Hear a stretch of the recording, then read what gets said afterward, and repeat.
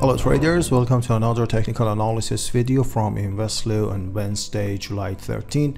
This is Ali, VP of Market Analysis and Education, and in this video we're going to have a quick look at Euro NZD.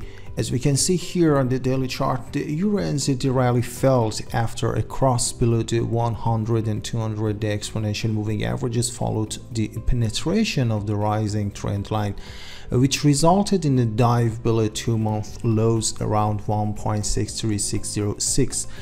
This barrier may fail to limit losses if selling pressure continues and subsequent support will probably be found at 1.62758. Obtaining this hurdle will trigger further falls uh, leading to 1.61081 as the next level of interest. Otherwise, should buyers defend the support level of 1.63606, uh, the pair will have a chance of rising back to the 200-day EMA, which is around the 1.65356 mark. Short-term momentum oscillators here reflect a sharpening of selling forces along with the price action on the chart.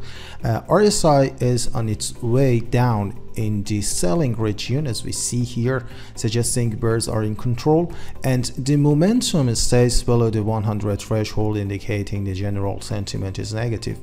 Uh, likewise we have MACD bars uh, getting more profound in the negative area after crossing below the zero line on Monday. That's it from my side for now. Thank you for watching and have a great trading day